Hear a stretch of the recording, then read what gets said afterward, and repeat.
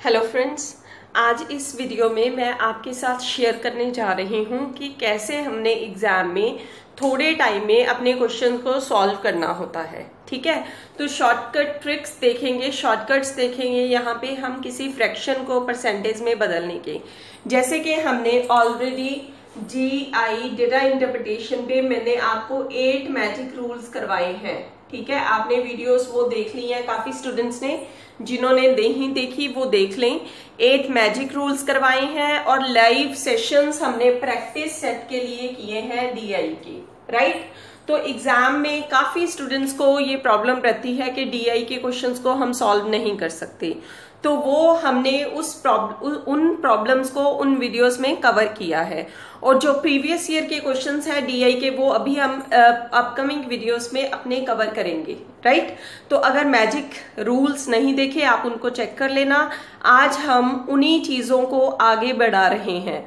तो काफ़ी स्टूडेंट्स की क्वेरीज आ रही थी कि हमने डीआई को कैसे सॉल्व करना है डेटा इंटरप्रिटेशन के क्वेश्चंस को ग्राफ को चार्ट को कैसे सॉल्व करना है, वो हमें आ चुका है। लेकिन हमें मेथड चाहिए कि हम फ्रैक्शन को जल्दी से कैसे सॉल्व कर सके विदाउट एनी डिवाइडेशन राइट? तो आज हम उसको स्टार्ट करने जा रहे हैं। देखिए, अगर एग्ज़ाम में आपको क्वेश्चन को सॉल्व करते हुए फ्रैक्शन को सॉल्व करने की ज़रूरत पड़ती है तो उसके रिगार्डिंग हमने कैसे उसको सॉल्व करना है? पहली चीज़, अगर आपको वन बाय वन को परसेंटेज में बदलना हो वन बाय वन क्या है? एक फ्रैक्शन है।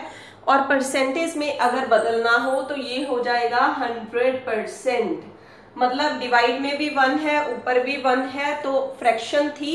फ्रैक्शन को हमने परसेंटेज में बदल दिया तो वो क्या आ गया हमारा? हंड्रेड परसेंट राइट अगर वन बाई टू हो, उसको हमने परसेंटेज में बदलना हो, किसी भी चीज़ का वन बाई टू टू हो तो वो फिफ्टी परसेंट हो जाएगा उसका राइट ठीक है वन बाय टू को अगर हमने परसेंटेज में बदलना हो तो क्या हो जाएगा? फिफ्टी परसेंट अब आगे देखते हैं one by four one by three बाद में देखते हैं देखिए जी ध्यान से वन बाय फोर कैसे बना one by two multiply one by two one by two one by two multiply करके वन बाय फोर हो गया ना ठीक है तो इसको अगर फ्रैक्शन में बदलना है तो आपके दिमाग में होना चाहिए कि वन बाय टू कितने परसेंटेज होता है वन बाय टू ऑलरेडी मैं आपको बता चुकी फिफ्टी परसेंट होता है राइट तो हमने 50 परसेंट का वन बाई टू करना है तो वो क्या आ जाएगा? 25 percent it means one by four अगर हो फ्रैक्शन में वन बाय फोर है, उसको हमने परसेंटेज में बदलना है तो वो क्या आ जाएगा हमारे पास? 25 परसेंट राइट मतलब हमने करना क्या है? आपको ये वन से लेके वन बाय वन वन से लेके वन बाय ट्वेंटी तक फ्रैक्शंस की आपने प्रैक्टिस करनी है। और एग्ज़ाम में आपके ओरल याद होना चाहिए कि अगर वन बाय थ्री है ना तो वो thirty three point thirty three आ जाएगा। Thirty three point three three percentage आ जाएगा राइट ठीक है? तो ये चीज़ें आपको क्विकली आनी चाहिए। मैं अभी इसके मेथड्स बता रही हूँ आपको। आपने इनको नोट करना है। वीडियो में समझने के बाद आपने इनको नोट करना है। ठीक है जी? आगे चलते हैं। वन बाय फोर हो गया। अब हम देखते हैं one by eight. One by eight को हम लिख सकते हैं one by two multiply one by four.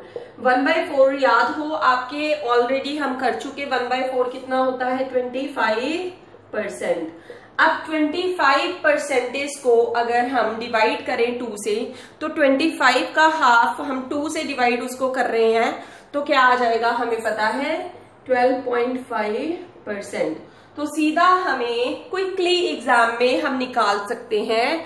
अगर किसी चीज़ को आपने वन बाई एट है आपके पास या एट से डिवाइड करना है तो आपके दिमाग में आना चाहिए कि एट से अगर वन बाई एट हो तो हम उसका सीधा ट्वेल्व पॉइंट फाइव लिख सकते हैं। राइट? आगे देखते हैं। अगर वन बाई सिक्सटीन आ जाए तो क्या होगा? वन बाई एट का हाफ़, वन बाई टू। ठीक है? वन बाई टू 12.5 तो ये कितना आ जाएगा? 6.25 मैं दोबारा से आपको बताना चाहती हूँ, एक बार आप सुनते जाइए। हाँ जी, क्या कर रहे हैं हम? फ्रैक्शन को परसेंटेज में बदल रहे हैं राइट अगर एग्ज़ाम में हमें कहीं भी फ्रैक्शन को सॉल्व करना हो like four by seven multiply hundred इसको सॉल्व करना है। तो ये आपके लिए कॉम्प्लेक्स हो जाता है। आप क्या करोगे? Four hundred divided by seven तो ये काफ़ी कॉम्प्लेक्स हो जाता है। लेकिन अगर आपके दिमाग में वहाँ पे एग्ज़ाम में बैठे हुए फोर बाई सेवन का याद हो जब वन बाई सेवन का याद हो कि वन बाई सेवन इसके इक्वल होता है, ठीक है? तो उसकी मल्टीप्लाई फोर से करके आप वेरी इजीली इसको सॉल्व कर सकते हो। आपको डिवाइड के चक्कर में पढ़ने की ज़रूरत नहीं है। तो मैंने उसके रिगार्डिंग आपको बोला है कि आपको एक बटा एक से लेके वन ओवर ट्वेंटी तक जो फ्रैक्शंस है, उनकी कॉरेस्पॉन्डिंग जो परसेंटेज वैल्यू है, वो याद होनी चाहिए। और याद करने की ट्रिक्स मैं आपको बता रही हूँ। One by one one by two, one by four, one by eight, one by sixteen हम डिस्कस कर चुके हैं। अब हम देखते हैं जो वैल्यूज़ हमने इन बिटवीन छोड़ी है उनको। ठीक है जी? तो in between one by two के बाद क्या होता है हमारा one by three. One by three is equal to क्या होगा? ये होता है thirty three point three three अब वन बाई थ्री आपको याद रखना है। इससे हम बना सकते हैं वन बाई सिक्स। बनाए? देखें, वन बाई सिक्स क्या होगा? One by two multiply one by three. One by three क्या है? Three three point three three. अगर इसको डिवाइड करेंगे हम वन बाई टू से तो हमें पता है ये आ जाएगा हमारा sixteen point six six percentage right ये अभी करते वक्त आपको शायद कॉम्प्लेक्स लग रहा हो, लेकिन जब इसकी प्रैक्टिस कर लोगे, फिर बड़ा इजी लगेगा आपको। वन बाय सिक्स जैसे हमने निकाल लिया अब हम देखते हैं one by nine. One by nine क्या आ जाएगा? One by three multiply one by three. One by three, thirty, three three. हाँ जी, वन बाय नाइन क्या आ जाएगा हमारे पास? Simple one one one one percentage. Right? क्यों? क्योंकि थ्री थ्री को अगर थ्री से डिवाइड करेंगे तो वन वन आ जाएगा। ठीक है जी? अब आगे देखते हैं। अगर हमने वन बाई टेन निकालना हो तो ये आपको वेरी इजीली कंफर्म ही होगा भी क्या होगा। क्या आ जाएगा बोलो? हाँ जी। तो ये आ जाएगा, आप अगर खुद सॉल्व करके देखोगे, टेन परसेंट। ठीक है? तो ऐसे हमने इन फ्रैक्शंस को याद रखना है एग्ज़ाम के लिए और इनको एग्ज़ाम में यूज़ करना है। याद रखने की ट्रिक्स क्या है? जैसे वन बाई नाइन का आपको याद हो गया इलेवन पॉइंट वन वन, ठीक है? ऐसे ही वन बाई इलेवन का अभी मैं आपको नोट करवाने जा रही हूँ, वो होता है नाइन पॉइंट ज़ीरो नाइन। अब दोबारा से देखते हैं ये कैसे है। देखिए, वन बाई नाइन का क्या है? इलेवन पॉइंट इलेवन और वन बाई इलेवन का क्या है? Nine point zero nine. तो ये एक तरह की ऐसे आपने याद रखनी है, ठीक है जी? तो इसकी प्रैक्टिस करनी है आपने ज़्यादा से ज़्यादा शॉर्टकट की और आप एग्ज़ाम में इजीली इसको सॉल्व कर सकते हैं। अभी हमने फाइव वाली सीरीज़ नहीं देखी, उसको चेक करते हैं। वन बाई फाइव आप खुद सोचो क्या होगा। मैं लिख रही हूँ।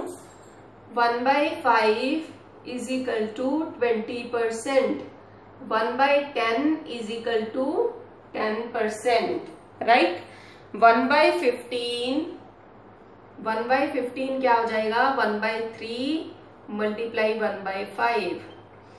One by three बाहर, ये अंदर क्या आ गया? ट्वेंटी परसेंट, ठीक है? इसका ट्वेंटी परसेंट अगर निकालेंगे हम तो ये बड़ा सिंपल हो जाता है इसका, इसकी कैलकुलेशन करनी। तो ये हमारे पास आ जाएगा six point six six percentage, right? आप लोगों को ऑरल ये वैल्यूज़ को याद करना है।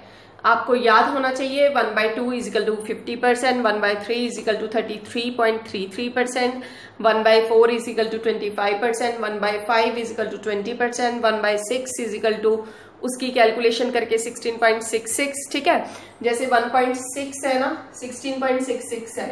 लेकिन अगर 1 बाई फिफ्टीन हो 6.66 परसेंटेज आएगा राइट ऐसे आप कॉम्बिनेशन बना के याद रख सकते हो। ठीक है जी? अब हमने वन बाई टू कर लिया टू का मल्टीपल कर लिया थ्री का मल्टीपल कर लिया फाइव कर लिया। क्या रह गया यहाँ पे हमारा? सेवन सेवन वाली टर्म्स को सॉल्व करने स्टार्ट करते हैं। तो आपको याद रखना है वन बाई सेवन की वैल्यू राइट तो वन बाई सेवन की वैल्यू आपको याद रखनी है।